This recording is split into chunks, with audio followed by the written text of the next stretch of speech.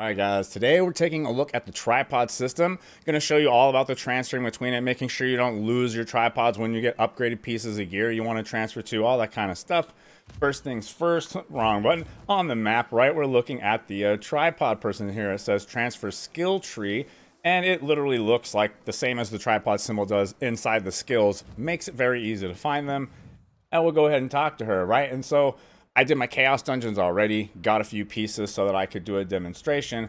I've got this piece of glo these gloves here, right? And I currently have two things on it that I actually like and one thing that I don't want. So we're to come over here and it's also showing me, right, that I've got one here that I have marked as something that I want. I can show you that after this as well. So we're to go ahead and click that. This is the one I'd like to replace. This is the one that I want.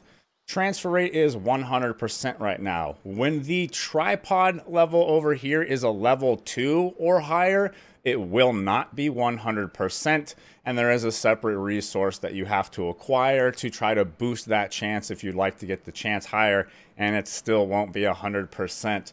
Get that RNG in there. So we're going to transfer this over.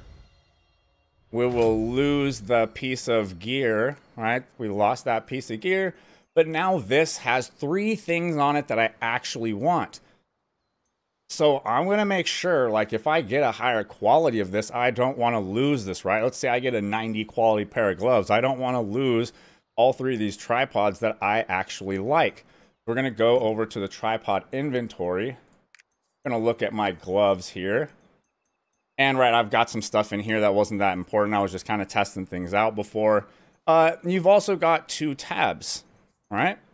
So right now I had this saved, uh, and it had the old one, right? So we're just to overwrite that with this new set here, because it's actually all three that we want now. Now this is saved in here. Let's say we can just demonstrate with a piece of gear we don't care about, right? Piercing strike on this and this. All right, yeah, don't care about this. So let's say we want this chest piece to have the tripods that I've saved in here before, right? My deadly blow, higher up on my swiftness here, more damage, right? These are good ones I want. We just boom, boom. Now that piece of gear has that on there. The library system is awesome. You can see that didn't, I don't think it even costed silver at all. We've got two tabs we can store. You can, of course, with crystals, expand how many tabs.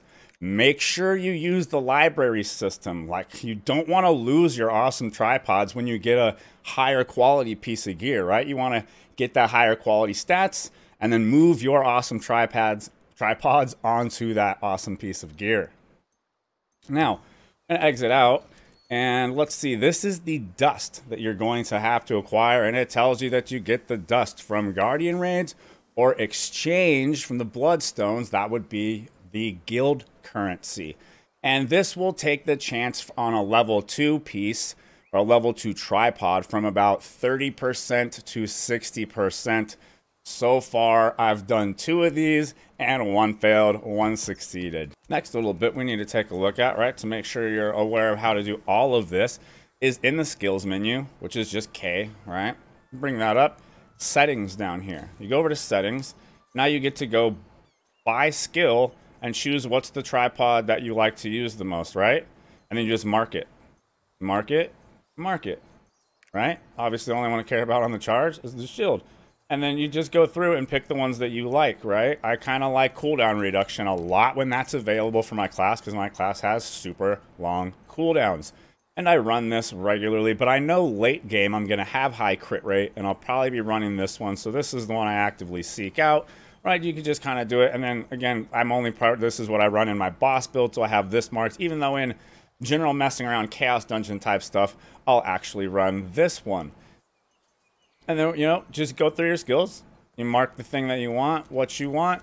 And then what happens is when you get those pieces of gear, right, instead of the piece of gear just being in here regular, it'll be like that one piece of gear was that you could see the little, right, the little tripod symbol on. Like you can actually on the left chest piece here, you can see that they are lit up. You can see the colored tripod marks letting me know that these were all things that I wanted, which is Oh, so this isn't showing it over here because this is the piece I transferred to, so they're exactly the same. I was like, that's crazy. I got a piece with all the same, but that's the happened to be the demonstration piece we just did with the library, right? So here's another example. Like nothing is lit up because I don't care about these, but the piece on the left, you can see that they are lit up and even the piece of gear, if you say had it in the inventory, right? It was in your bag. When it's in your bag and you get it, it'll be clearly marked like this as well as in your auto dismantle, you can check this box right here to make sure it won't dismantle anything where you mark that you want pieces of gear with that tripod. And that's pretty much everything, right? Oh, wait, I got one more little tip here. If you go down to the guide section and you go to the training area, there is a quest that you can specifically choose to accept on the tripod system.